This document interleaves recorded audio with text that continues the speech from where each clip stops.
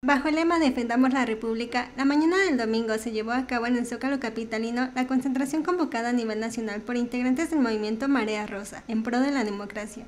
De acuerdo con la Secretaría de Seguridad Ciudadana de la Ciudad de México, a la movilización acudieron cerca de 95 mil personas quienes escucharon los discursos de los candidatos de la coalición Fuerza y Corazón por México, Xochitl Gálvez y Santiago Tahuada, quienes fueron invitados a la manifestación para firmar un manifiesto ciudadano para una nueva república, el cual contempla 10 puntos para exigir un país con democracia, libertad, respeto y justicia. Xochitl, te comprometes con nosotros a defender esta visión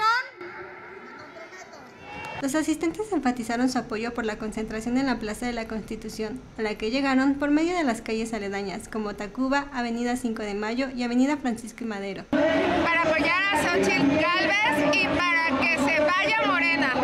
Vengo para defender la democracia porque amo a México y lo quiero libre. Por su parte, los candidatos de la oposición enfatizaron su compromiso para luchar por los puntos que caracterizan el manifiesto como parte de la democracia. Por eso estoy aquí para sumarme con ustedes a la defensa de la República.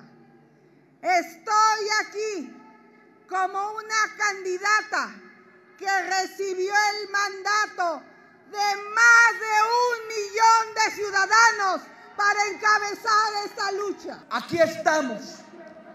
Aquí estamos quienes decidimos luchar por las libertades, por la democracia la Ciudad de México fue una de las más de 80 ciudades convocadas para apoyar dicha causa, así como de la democracia, libertad, respeto y justicia.